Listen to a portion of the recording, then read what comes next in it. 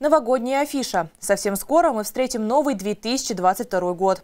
Впереди большие новогодние каникулы. Дом культуры поселка Искателей Созвездия и Дворец культуры Арктика подготовили для жителей региона программу праздничных мероприятий.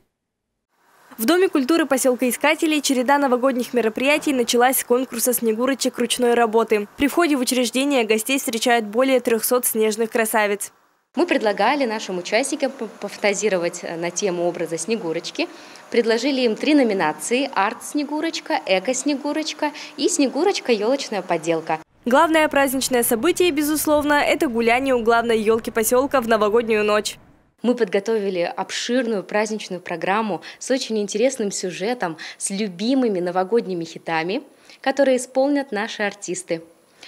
А, сюжет очень интересный. А, мы сейчас живем в современном мире, в 2022 году. Вот и Деду Морозу нашему предлагают обновиться и заменить свой посох старый на новую умную колонку «Морозко». Посмотрим, что из этого выйдет 1 января в час ночи. На протяжении всех выходных дней жителям поселка Искателей также не придется скучать. Каждому найдется занятие по душе в период новогодних каникул.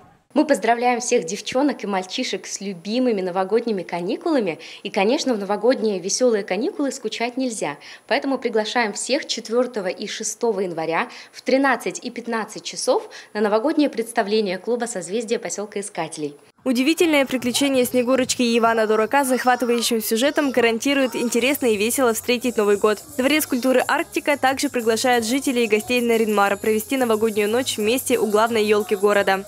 1 января в час ночи мы выйдем перед зрителями на сцену на площади Марации. Программа будет называться «С Новым годом на Ринмар». И, как всегда, зрителей ждут э, шоу-программа небольшая и выступления творческих коллективов. Ну и, конечно, интерактив. Во время новогодних каникул в городе также пройдет много мероприятий для наринмарцев всех возрастов. Мини-диско, который у нас состоится 3 января, также на площади Марацей в 12 часов. То есть маленьких зрителей будет ждать тоже небольшая шоу-программа, ростовые куклы, э, игры, хороводы, ну, все, что мы так любим в Новый год. С 3 по 5 января состоится дебют творческого коллектива «Маленькая страна». Кукольный театр представит сказку о трех поросятах. Перед спектаклем для самых маленьких зрителей будет играть ансамбль скрипачей «Шоколад». 4 и 5 января запланированы мастер-классы в выставочном зале по изготовлению новогодней игрушки. Они называются «Подарок для елочки». А, попасть туда можно будет э, детям и взрослым, ну, детям от 7 лет, то есть нужно будет изготовить новогодний шарик.